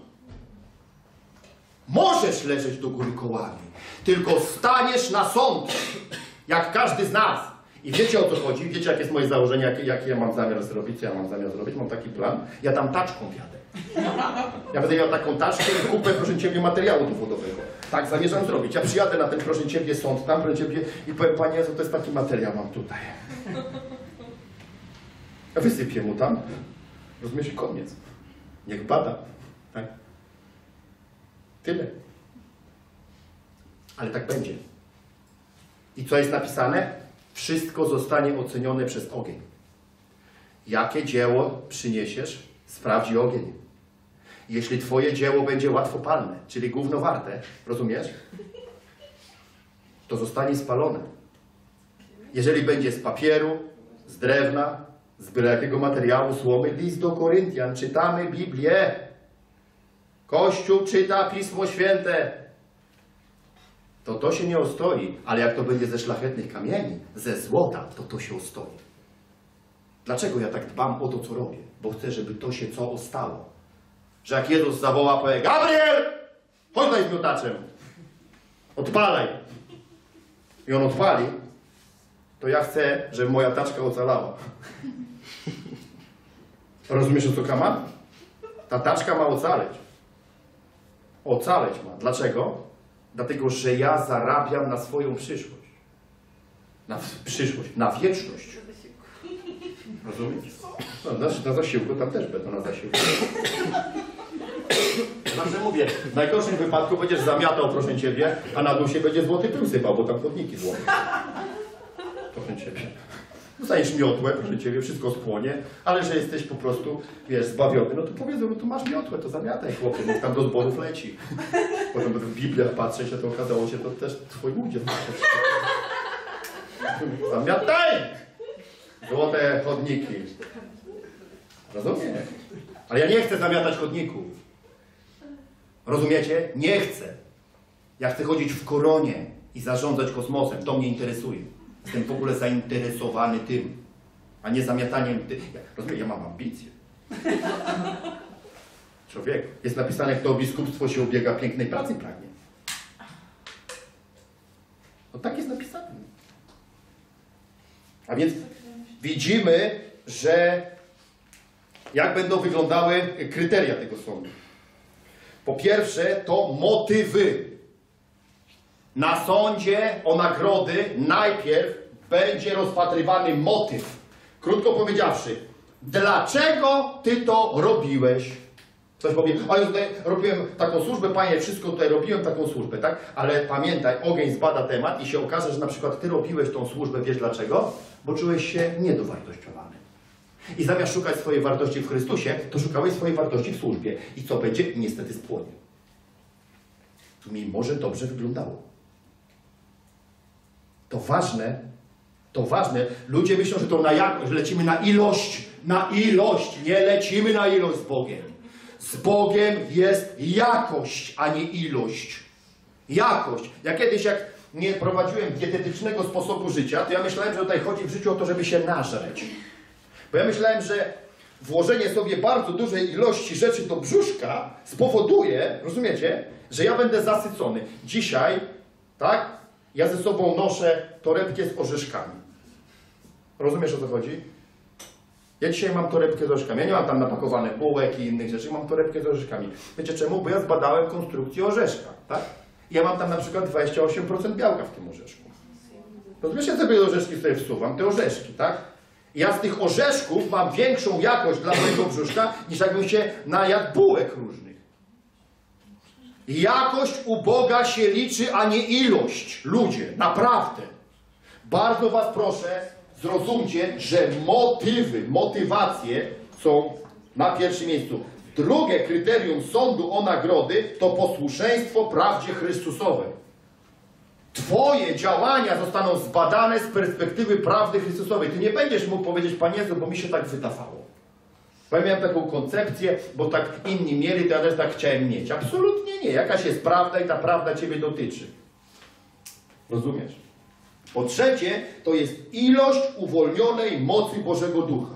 A więc Ty będziesz na tych trzech płaszczyznach, Twoje dzieło będzie osądzone na trzech płaszczyznach. Motyw, posłuszeństwo prawdzie i ilość uwolnionej mocy. Rozumiecie, jakie to jest ważne? Rozumiecie, dlaczego nie można siedzieć sobie w miejscu w, w królestwie? To już nie jest tylko to, że my działamy, aby ludzie się nawracali. Rozumiecie? Ale my inwestujemy w wieczność. To jest inwestycja. Inwestycja. A nie, proszę Ciebie, że ja idę, zobaczę, co tam mnie skapnie. Co... Nic Ci nie skapnie, bo to będzie, to jest wszystko obcykane, to tak będzie. Rozumiesz? Ja nie wiem. Jakie płaszczyzny będą tego sądu? Po pierwsze, życie osobiste, po drugie, służba. Czyli życie osobiste i służba to jest Twoje życie. To nie ma czegoś takiego, że Ty fajnie odnosisz się w życiu, rozumiesz, jakoś sobie stosujesz Boże prawidła i żyjesz, a Ty nie służysz w Królestwie. Jesteś wolny po to, aby służyć. Rozumiesz? Te rzeczy będą przebadane. Kolejny sąd, następna odsłona, druga są, odsłona sądu wiecznego, opisana w księdze Jeremiasza, 30 rozdziale, wersety 3 i 9, od 3 do 9. Jest to sąd utrapienia nad Izraelem podczas wielkiego ucisku. Izrael jest narodem wybranym. Jest to diametralnie różna informacja od tego, że ludzie chcą być bardziej w polskich kościołach żydowscy niż Żydzi. Bo tak jest. Też taki byłem kiedyś, też pokutowałem z takich rzeczy, wiecie, także rozumiem to doskonale. Chciałem być Żydem. Akurat mi nie przyszło do głowy, żeby się obrzezać, ale miałem znajomych, którzy chcieli się obrzezać. Mieli niesamowite objawienia, że jak teraz już mają Chrystusa, jeszcze się obrzezają, to jeszcze sobie załatwią jeszcze dodatkowy jakiś bonus w tym wszystkim. Dobrze, że my się nie obrzezaliśmy wszyscy jeszcze wtedy. Izrael będzie miał swój sąd. To nie będzie sąd, jeżeli chodzi o w temacie e, ludzi odrodzonych, bo musicie, zresztą uważam, że to wiecie doskonale, że nie ma e, czegoś takiego, że Izrael będzie inaczej sądzony z perspektywy Nowego Narodzenia. Każdy Żyd musi się narodzić z Bożego Ducha, inaczej pójdzie do piekła. Koniec, kropka. To nie ma dla nich jakiegoś, jakiejś ulgi w tym temacie. To nie, to absolutnie. Nigdy nie dajcie się też wkręcić, że to tam jest inaczej, bo coraz więcej takich powstaje w Polsce różnego rodzaju yy, pro-mesjańskich, ja, nie wiem, czy są mesjańskie, ale pro-mesjańskie jakieś takich ruchów. Ale sąd utrapienia nad Izraelem podczas wielkiego ucisku e, będzie jakby poprzedzony pewnymi rzeczami. Po pierwsze, to będzie sprowadzenie całego Izraela z powrotem do jego ziemi. Sprowadzenie. To będzie ekspansja. To będzie też jeden z takich, e, jeden z takich ostatecznych znaków powrotu Jezusa. E, to będzie czas mm, narodowego zagrożenia i strasznej niedoli. Wiecie, bo tam się zacznie pięknie. E, Antychryst im odbuduje świątynię, jak wiecie doskonale. Pewnie sobie badacie te sprawy, jak to wygląda. On im odbuduje świątynię i to w miejscu tego meczetu, który tam stoi. On przy tej ścianie im tam odbuduje to wszystko. Więc e, oni go będą uważali przez długi okres czasu za naprawdę wspaniałego, wspaniałego polityka, który jest no, niesamowitym humanistą. On zresztą Antychryst doprowadzi do pojednania muzułmanów i Żydów.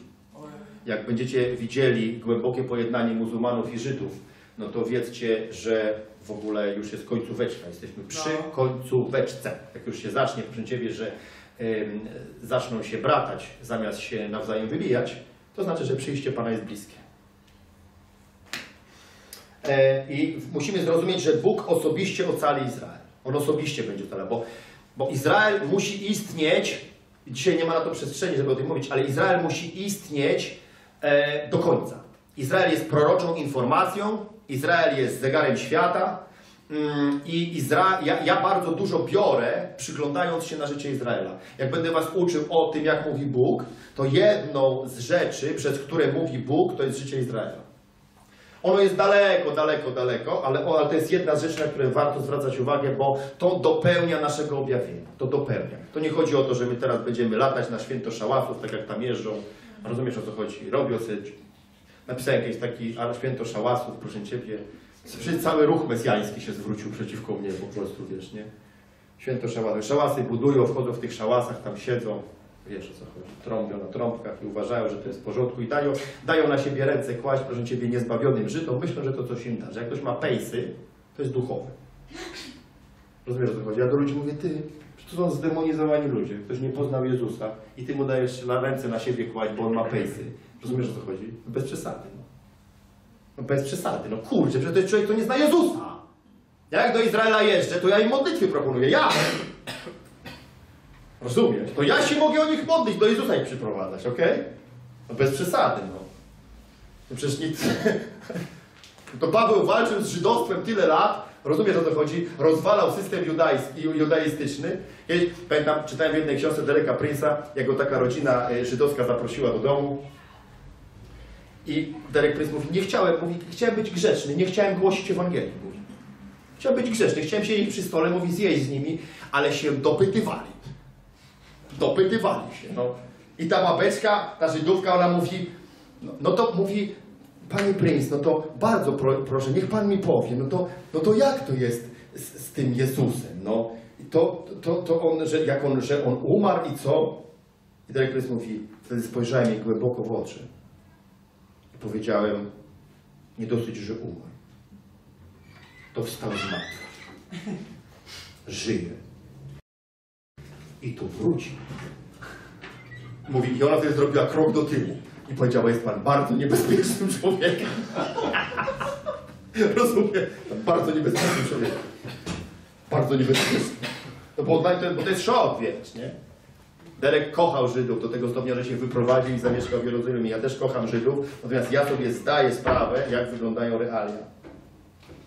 A więc widzimy, że taki sąd jest jednym z sądów wiecznych. Następna rzecz. E, Sąd nad nieżydowskimi narodami pod koniec wielkiego ucisku. Czyli widzimy, że sąd e, utrapienia nad Izraelem jest podczas wielkiego ucisku. Ja zaraz troszkę powiem o wielkim ucisku.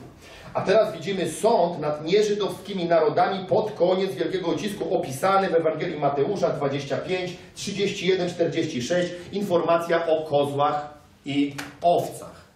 Często bardzo mało rozumiany. Ludzie myślą, że to, e, nawet nawet nie będę mówił, co ludzie myślą, bo myślą straszne głupoty, tak? Podciągają to pod system uczynkowości. Natomiast jest to sąd, e, który mm, jest sądem nad ludźmi, którzy nie byli Żydami podczas wielkiego ucisku i nie wyciągnęli pomocnej ręki do Żydów.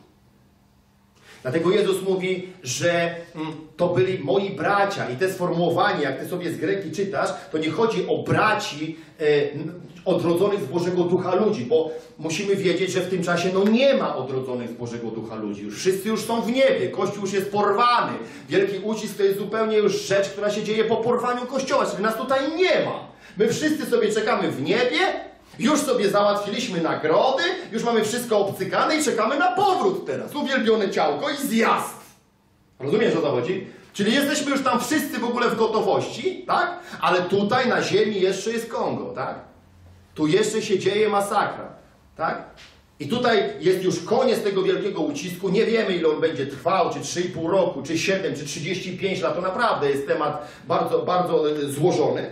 Natomiast widzimy, że te narody, które nie podały ręki Żydom, które były przeciwne Żydom, prawda? To one mają swój sąd.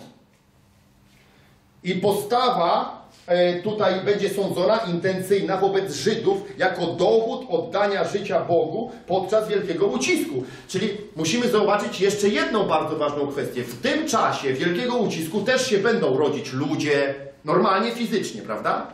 I pamiętajmy, Duch Święty będzie wycofany z ziemi, bo już Ducha Świętego nie będzie na ziemi.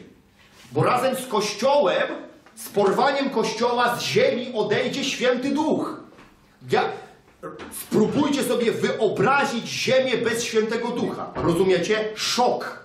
Ja kiedyś, jak się modliłem, uważam, że nie wiem, czy ja miałem wizję, czy co, trudno mi powiedzieć, co ja miałem. Natomiast dotknąłem gdzieś w swoim duchu tego tematu. Byłem przez chwilę przerażony. Przerażony byłem. Bo dla mnie, wy... zobaczcie, tyle się dzieje zła i nieszczęść na ziemi, a Duch Święty jest tutaj. Rozumiecie? Jest Kościół, jest Duch Święty, modlimy się, e, przyprowadzamy ludzi do Jezusa, wypędzamy demony. A teraz sobie wyobraź, że Duch Święty jest zabrany z ziemi. Czyli zaczyna być e, sytuacja sprzed przyjścia Jezusa na ziemię, czyli mamy masakrę okresu Starego Testamentu plus popsucie cywilizacyjne. Rozumiesz? No to Sodoma i Gomora to wesołe miasteczko przy tym będzie. Co tu się kurcze będzie działo? Rozumiesz? Jak tutaj święty duch odejdzie. Jak tutaj ludzie nie będą przekonywani o grzechu, sprawiedliwości i sądzie. Masakra. Rozumiesz? To tu człowieku zęby do gardła podgryzać. No. Dlatego tutaj są takie jazdy w tym, w tym wielkim ucisku. Rozumiesz, że do firmy będziesz się przyjmował i będą ciebie pytali w ogóle, czy ty w Boga wierzysz. Jeżeli ty, jeżeli ty powiesz, że ty wierzysz w Boga, to się na przykład do firmy nie przyjmą. Do pracy nie dostaniesz. Nie będziesz miał co jeść. A? Człowieku, chipy będą wkładać, rozumiesz? Będziesz jak karta w ogóle, będziesz miał, jak, a teraz tak, nie przyjmą cię do pracy, rozumiesz, nie dostaniesz chipa. Ty nie będziesz mógł kupić, nie będziesz mógł sprzedać, nie będziesz mógł w ogóle nigdzie wejść. Będziesz pewnego rodzaju wygnańcem, rozumiesz? To jest szok. Ludzie będą szli, roz, będą kłamali. Bo w tym czasie trzeba zrozumieć, że ludzie będą przychodzili na świat i będą też szukać Boga. Będzie to dla nich o wiele trudniejsza rzecz niż obecnie, bo Ducha Świętego nie będzie, ale będą szukać Boga tak jak w Starym Testamencie. I posłuchajcie teraz. Dowodem na to, że realnie szukają Boga, będzie to, czy pomagają Żydom. Taki jest zamysł Boży, o tym mówi Pismo Święte, ono to pokazuje nam. Tylko trzeba w to głęboko wejść. A więc, jeżeli ktoś w okresie wielkiego ucisku realnie będzie szukał Boga, to będzie to widoczne w tym, że będzie się opowiadał za narodem izraelskim. Bo tak jak w czasie Starego Przymierza naród izraelski był jedyną informacją Boga na ziemi, tak będzie i podczas wielkiego ucisku. A ci potem, którzy nie opowiedzieli się za Żydami, czyli tak naprawdę nie szukali Boga, będą mieli swój sąd. I to są te kozły, które są oddzielane. Chcę, żeby Wam teraz pokazać króciutki opis sytuacji podczas wielkiego ucisku. Ci, którzy oddali życie Bogu podczas wielkiego ucisku i stracili przez to swoje życie, no bo się opowiadali za Żydami, a, Żydy, a Żydzi są w tym momencie największym zarzewiem problemu, czyli są niszczeni. Każdy, kto jest pochodzenia żydowskiego, tak, jest ścigany podczas wielkiego ucisku. Jest to e, e, zagrożenie numer jeden, troszkę jak w czasie II wojny światowej. Rozumiecie, tak? I oni, ludzie będą, spra- będą sprawdzani. Tak jak Hitler sprawdza w ogóle to, co było w czasie II wojny światowej. Ta, ta w ogóle, ten, ten atak na Żydów, tak? To było przedsmak wielkiego ucisku. To był przedsmak. To, że oni, zobaczcie, bo to, jest, to trzeba zobaczyć proroczo. Tyle milionów Żydów wymordowali. Dlaczego on się na tych Żydów uparł? Rozumiecie? Czemu on tych Żydów tak nienawidził? Oczywiście my socjologicznie, po ludzku to możemy powiedzieć, no bo miał matkę Żydówkę, bo ojciec go zostawił, ale to są, to są, to są ludzkie dywagacje. Ja uważam, że to była też prorocza informacja. To trzeba proroczo zobaczyć. To, co było w czasie II wojny światowej, będzie tysiąckroć gorzej powtarzane w czasie wielkiego ucisku. Żydzi będą potężnie prześladowani, ale jednocześnie będą ostateczną informacją, że Bóg jest. Bóg jest. Wtedy też będzie dużo nawróceń Żydów. Realnie będą Żydzi, tak? Wierzyli w Mesjasza. Oni zaczną przywoływać imienia Jezus. Rozumiecie? To dzisiaj już w Izraelu zaczyna się pojawiać krok po kroku. Jezus się śni rabinom. Słyszeliście o tym w ogóle człowieku, który był takim wielkim mentorem. To było około 10 lat temu, prawda? W ogóle był tak wielkim mentorem żydowskim. Miał już blisko 100 lat. To był człowiek, którego w Sanhedrynie słuchano. Przepraszam, w Knesecie. Słuchano go w Knesecie, czyli w tym rządzie izraelskim. Rozumiecie? I facet był uznany za bardzo wysokiego rabina, propagatora e, Idisz, propagatora e, Tory, w ogóle wiecie, wielkiego Żyda. I on umiera i zostawia list, list do swojego syna. Rozumiecie? I ten, ten list jest publicznie czytany. Wiecie, bo to była taka ostatnia jego informacja dla syna i on prosił, żeby go publicznie przeczytać. I tam, słuchajcie, przed kamerami w ogóle, to był szok. Ja byłem w szoku, ja się poryczałem jak bubr. W ogóle wiesz. I on pisze do syna, mówię, synu, chcę ci pozostawić bardzo ważną wiadomość. A pamiętacie, judaista, nie? Dowiedziałem się, kim jest Mesjasz. Jego imię to Jeszua. Szok. W ogóle tam było takie zamieszanie, ludzie. Rozumiecie? Główny mentor Izraela nawrócił się przed śmiercią. Więc to jest przedsmak tego, co się będzie działo, bo Jezus się będzie objawiał ludziom w przeciwny sposób. Nie wiemy w jaki, bo, bo, bo nie będzie Ducha Świętego, nie wiemy, co to, jak to będzie. Ale Żydzi będą się nawracać i będą tak, z taką matrycą, pewnego rodzaju obrazem Boga. I każdy, kto się opowie za Izraelem, będzie uznany przez Boga za tą owcę. I będą też ci ludzie bardzo cierpieć. Bo kto się opowie za Izraelem, będzie szykanowany przez grupę antychrysta, czyli przez cały system społeczny, który tam jest. A więc ci, którzy od, od, od, e, odpa- oddali życie Bogu i stracili e, swoje życie, odchodzą do Boga i odpoczywają w nim aż do czasu sądu przed wielkim białym tronem. Tam otrzymują, jak inni chrześcijanie, nowe uwielbione ciała i nagrody, ponieważ ich, ich e, imiona są, zaczynają istnieć w księdze żywota. Następnie ci, którzy oddali życie Bogu e, podczas wielkiego ucisku i dotrwali do końca ucisku, zostaną osądzeni przez Jezusa przed tronem Jego chwały na podstawie intencji wobec narodu żydowskiego. Czyli to są te owce, które są oddzielone od baran, od, tych, od kozłów. Kozły to są ci, którzy nie chcieli e, opowiedzieć się za Żydami i w związku z tym było to świadectwem, że nie chcą Boga. A owce to są ci, którzy opowiedzieli się za Żydami i w związku z tym jest to dowód na to, że Boga chcą. Dostaną uwielbione ciała i nagrody. Ci, którzy nie oddali życia Bogu podczas ucisku, dostaną nowe ciała, ciała wiecznie cierpiące, zostaną osądzeni na podstawie swoich intencji i zachowań wobec Żydów i natychmiast wrzuceni do Gehenny. I teraz widzimy siódmy, siódmą odsłonę, sąd nad pozostałymi zmarłymi. To jest ten sąd przed wielkim białym tronem. Objawienie Jana, 20 rozdział 11-15. Ten ostatnia odsłona, czwarta odsłona sądu Bożego. I teraz widzimy kryteria. Po pierwsze, nie oddanie życia Jezusowi. Księga życia. Nie ma w księdze życia zapisanego gościa? Tak? Wyrok. Na podstawie czego? Na podstawie uczynków zapisanych w drugiej księdze. Tak? Czyli głębokość zanurzenia w gnoju, zależny od tego, proszę Ciebie, co robili do tej pory. Rozumiesz? Jak byli w miarę grzeczni, to w gnoju siedzą po dziurki w nosie. Rozumiesz? Jak nie za bardzo, to powyżej dziurek. I niech se radzą. ja nie mam żadnej litości. Wiecie o co chodzi? Ja w ogóle, im bardziej jestem blisko Boga, tym bardziej rozumiem Jego serce. Ja kiedyś, jak byłem zhumanizowany jeszcze, to ja nie rozumiałem, jak to jest możliwe, żeby Bóg, który jest miłością, w ogóle żeby utrzymywał takie coś jak piekło czy gehenna. No i że te piekło to mi się tak dawało, jakoś mówię, okej, no to oni jakoś tam później to tutaj trochę pocierpią, trochę on ich tam później weźmie, z nimi porozmawia. A tu w ogóle nie ma takich rzeczy w tym Bogu. Ta czysta miłość Boża to jest miłość duchowa, której nie ma w ogóle dziwacznych sentymentów. Trudne dla nas. To jest trudna rzecz. Ale takie są fakty. A więc widzimy, nie ma w księdze żywota uczynki i na podstawie tych uczynków otrzymują jakość cierpienia. Co jest ważne, nad przed wielkim białym tronem stają już ludzie, którzy otrzymują też ciała, tam nie staną duchy. Każdy człowiek zostaje wzbudzony z martwych przed wielki biały tron. Wiecie, my dostajemy, dostaniemy uwielbione ciała i nas tam nie będzie.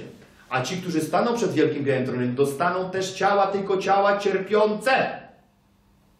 Cierpiące. Acz nie umierające. Tu jest numer dopiero. To nie będzie tak, że w tej gehennie to zaraz tam się wykończę szybko. Się nie wykończysz. Teraz będzie cię boleć, nie wiem ile. Ten sąd, on będzie się po zakończeniu tysiącletniego królestwa. Tysiącletnie królestwo będzie okresem czasu od, momencia, od momentu zejścia Jezusa. Jezus schodzi pod koniec wielkiego ucisku razem ze swoim kościołem. W tym czasie diabeł jest związany na tysiąc lat, wrzucony jest do otchłani. Otchłań to nie jest gehenna. Na razie jest wrzucony do otchłani, do takiego miejsca, w którym on tam sobie nie wiem, co on tam będzie robił, naprawdę mnie to w ogóle nie interesuje. Będzie tam siedział, rozumiesz, ze wszystkimi demonami przez tysiąc lat. W centrum ziemi będzie Jerozolima, w której Jezus będzie zasiadał jako król, a my będziemy robić to, co On zechce. Istnieje prawdopodobieństwo, że te tysiąc lat będzie związane z tym, że będziemy ustawiali rzeczy we wszechświecie pod wieczność. Istnieje prawdopodobieństwo, że te tysiąc lat, już wielu dzisiaj egzegetów jest zgodnych z tym, że przez te tysiąc lat to Chrystus i Jego Kościół będą ustawiali wszechświat zgodnie z odwiecznym planem, rozumiecie? Który ma funkcjonować później w wieczności. Jakby tą, ta wieczność ma być uporządkowana tutaj. Pod koniec tysiącletniego królestwa znamy sytuację. Szatan zostaje wypuszczony, szybciutko zbiera ekipę, prawda? I następuje ostateczna walka, pięknie nazwana Armagedon. Tak? Nawet mówi się, w którym ona miejscu będzie. Osobiście byłem w tym miejscu, przyjrzałem się na to miejsce i tak sobie pomyślałem, chyba się nie zmieszczą. Tak sobie pomyślałem. No to miejsce jest duże, ale jednak mi się wydaje, że to chyba się nie skończy jakąś tego rodzaju walką, no, ale to jest mało ważne. E, Ważne jest to, że będziemy brać w niej udział, chciałem zauważyć. To jest bardzo ważne. Także dobrze szlifować odwagę. O, tak. Ponieważ to, co wytworzysz na ziemi, z takim potencjałem pójdziesz do nieba. Taką też nagrodę dostaniesz.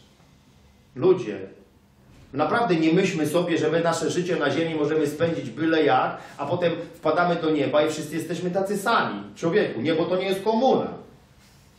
Że wszyscy porówno. Sprawiedliwość to nie jest, że wszyscy porówno. U Boga istnieje system hierarchii, nagród. Tam nie ma porówno, tam nie ma demokracji. Demokracja jest piekła rodem. Demokracja. Wszyscy porówno i wszyscy mają swoje zdanie. Wiesz o co chodzi? To jest bezkrólewie, anarchia. A my mówimy o monarchii. Jak monarchia mówi coś, to jest koniec i kropka. Na przykład król w Holandii powiedział takie coś. Grzyby są moje. Moje. I jak cię złapią w Holandii, że zbierasz grzyby, to ci dają karę 1000 euro. Bo jest taki zapis. Grzyby należą do króla. No i co teraz? To by nie wiedział. No, no, i, no i koniec. A Polacy chodzą, wiesz, Polak przylatuje do Holandii, no ale ile grzybów. Nikt tu grzybów nie je, nikt tu grzybów nie je, bo troszkę drogie grzyby. 4000 zł zapłacić, proszę Ciebie, jak Cię złapią. Rozumiesz, że tam obkamerowane jest każde drzewo Holandii. Tam człowieku, gdziekolwiek nie piarniesz, to oni wiedzą w jakim tonie, człowieku. I oni cały czas Cię obserwują. Rozumiesz? Tam się na autostradzie gdzieś zatrzymały, rozumiesz? Człowieku, tam jest tyle... Ja nie widziałem nigdy w żadnym kraju tyle Kamera na kamerze. I, I grzyby należą do króla. I teraz co, pogadasz z tym? U nas człowieku można żreć grzyby, ile się wcale, nie w Holandii. W Holandii możesz jarać marihuanę, ale nie możesz zbierać grzybów. Możesz dostać dofinansowanie na produkcję marihuany. Do pięciu drzewek. Jeszcze dostaniesz dofinansowanie z państwa. A jak weźmiesz jeden pokój sobie wydzielisz na biuro, to dostaniesz jeszcze dodatkowo 3000 euro. Ale grzybów nie można zbierać, bo grzyby do króla należą. O co chodzi? Ktoś powie, cóż za głupota. No można się najarać jak wór. Rozumiesz o co chodzi? W coffee shopie, a nie można grzyba zjeść. Czasem przywieźć z Polski grzyba. Rozumiesz? No i teraz, ale dlaczego? Bo monarchia jest. Król sobie zażyczył, że grzyby są jego i to wszystko. I tak wygląda monarchia. My się w ogóle oswójmy, że nami rządzi król, dobrze? Nami nie rządzi jakiś popra- popaprany demokrata, który się w ogóle liczy z naszym zdaniem. To tak w Wielkiej Brytanii wszystkie łabędzie należą do królowej. Dobrze, żeby ich nie jadła jeszcze. Że tam za zabicie łabędzia bardzo wysokie są kary Postawmy na razie łabędzie. Zaraz też coś powiem o łabędziu. Widzimy, że Kościół w tym wszystkim bierze bardzo poważny udział. Ten potencjał, który ty zbierzesz na ziemi, wniesiesz do nieba, za niego dostaniesz nagrodę i z nim będziesz królował też. A więc będą, tak, zróżnicowania. Zróżnicowania. Ale na Armagedonie będziemy wszyscy. Rozumiesz? Co jest dla nas ważne? Walka jest zwycięska, zwyciężamy, tak? Diabeł zostaje zutylizowany, znaczy zutylizowany, wrzucony do gehenny, demony do gehenny, wszyscy ludzie w cierpiących ciałach, którzy nie oddali życia Jezusowi, do gehenny, tak? I co następuje dalej? Utylizacja ziemi. Czyli ziemia w tym momencie przestaje być już potrzebna. Skończył się temat. I co jest napisane? I będzie nowe niebo i nowa ziemia. I na tej nowej ziemi, tak, będzie niebiańskie Jeruzalem. I tutaj następna informacja, my nie będziemy wieczności w niebie spędzać, niebo też jest przejściówką. Tylko na ziemi, na nowej ziemi, w potężnym Jeruzalem, którego mury będą miały 60 metrów wysokości, a rozumiecie? I stamtąd będziemy zarządzać wszechświatem. Co będzie dalej? Nie wiadomo, bo się skończyło objawienie biblijne. Ludzie sobie robią różne dywagacje i tak dalej, i tak dalej, ale to rzeczy są już niezbyt istotne. Dlaczego zależy mi na tym, abyście te rzeczy wiedzieli? Ponieważ my nie możemy żyć w nieświadomości. My nie możemy sobie myśleć, że to jest jakieś takie e, lajtowe funkcjonowanie, tylko to wszystko jest konkretnie zaplanowane, punkt po punkcie, epoka po epoce, odsłony sądów, krok po kroku, rozumiecie? Musimy też umieć w sobie te rzeczy poukładać, rozumiecie? I odważnie realizować Boży plan. A więc nie łudźmy się, że nie staniemy przed sądem, że to nieważne co robimy, że się ludzie mają pretensje, a dlaczego wy tak pracujecie nad duszami swoimi, czemu ty ludziom tyle o tym mówisz? Ja mówię, wiesz co, bo mi naprawdę zależy, żeby ludzie, którzy trafili do mojego życia, tak, to naprawdę mieli tą wieczność. Ja mam jakąś taką, ja, ja mam taką dbałość. Kiedyś dzwoni do mnie taka yy, babka z gazety, taka redaktorka i mówi do mnie, pan Ceroński, ja mówię, tak słucham. A ona mówi, mam do Pana pytanie. Co to znaczy, że Pan tworzy uczniów czasów końca? Ja mówię do niej, nie wiem, czy jest Pani gotowa na odpowiedź. Ona mówi, tak, tak, bardzo proszę, ja notuję. Ja mówię, no po pierwsze musi Pani wiedzieć, że się zbliża koniec. A ona mówi, ale koniec czego? No ja mówię, wszystkiego. Ale to wszystkiego? Ja mówię, proszę Jezus może wrócić w każdej chwili. On mówi, Pan tak naprawdę? Ja mówię, naprawdę, proszę. I mówię, i teraz tworzymy armię. Tworzymy armię, proszę Panią. Rozumiesz? Ona mówi, ona, na- ona naprawdę była w szoku. Wiesz, ona się, ją, ją to ujęło. Co to są uczniowie czasów końca? Że taki produkt istnieje, wiesz. A jak któreś tam w takim programie telewizyjnym po prostu oficjalnie powiedziałem, chyba tam w TVN czy gdzieś, mówię, my się z żoną zajmujemy produkcją uczniów czasów końca. Mówię, przecież to jest nasze zadanie, to jest nasze, nasze życie, nasz zawód, w ogóle wszystko. Bo mi zależy, żeby ludzie mieli w wieczności jak najlepiej. Bo ta głupawka pod tytułem, że jesteśmy wszyscy w ogóle, idziemy do nieba i my tam będziemy hasać po tych chmurkach, rozumiesz, z tymi aniołkami, co mają takie duże pupcie, krótkie nóżki, nie wiadomo, chłopczyk, dziewczynka, to gender człowieku już w tych świątyniach tam robili, wykuwali, rozumiesz o co chodzi. To nie wiadomo, aniołek, no aniołek! Jak Daniel zobaczył anioła, to zemdlał! Ten stał jedną nogą w morzu, drugą na górach, człowieku, rozumiesz? Wiesz. A tu aniołka narysowali. W ogóle wiesz o co chodzi? Wy, wykuli. Aniołek proszę ciebie. Potem ludzie mówią proszę ciebie, że tam aniołek do niego przyleciał. Ja mówię, aniołek przyleciał, trzeba było wziąć mu chozor, psiknąć. Człowieku, to mucha duża, duży ten zebuk. Do ciebie podleciał. Otruć, zabić, ubić. Aniołek, czego ty masz pojęcie, człowieku. Anioły do paraliżu doprowadzają niektórych ludzi.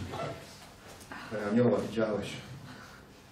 Chodzi o to, że nie bądźmy nieświadomi rzeczy. Bądźmy ludźmi, którzy są świadomi. Ten świat jest wystarczająco przesycony głupotą. To głupota to kapie z ludzi. I w kościele też. Którego ludzie chodzą w ogóle jak człowieku zbłąkane ptaki w ogóle człowieku. I oni mówią, to do nieba pójdziemy, Bóg nas kocha, wszystkich. Ja mówię, człowieku, ty w ogóle weź to zobacz jak to działa. Zobacz co to jest. Weź, weź zacznij pracować nad sobą, weź zacznij, bo przecież tylko nagrody musisz sięgnąć. Przecież tam, człowieku, tam będziemy ocenieni za nasze życie, no. Bo, bo to tak jest, to tak to, to niebo jest, no to potem nowa ziemia, wszystko wiesz. Poukładajcie to sobie, ja was bardzo proszę sobie. I, I jakby na tym budujcie. Pamiętaj, wszystko jest ważne w Twoim życiu. Z jakich intencji co robisz, dlaczego to robisz. Badaj te rzeczy. Obmywaj w krwi Jezusa. Jak nie, to zmieniaj, pokutuj, odwracaj. Rozumiesz o co chodzi? Rób robotę z tym. Niech to ma jakość. Wjeźdź do tego nieba z jakością odpowiednią. Z jakością. Tak? Żebyśmy byli w jednym zbiorze.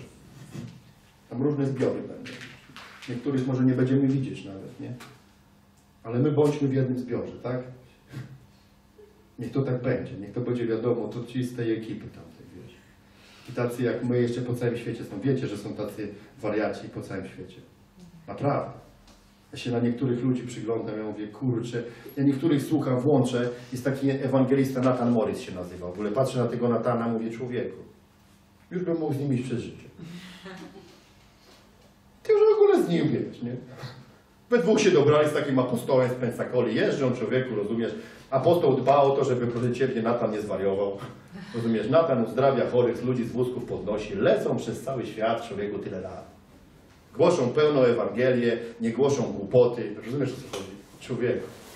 Konkretną robotę.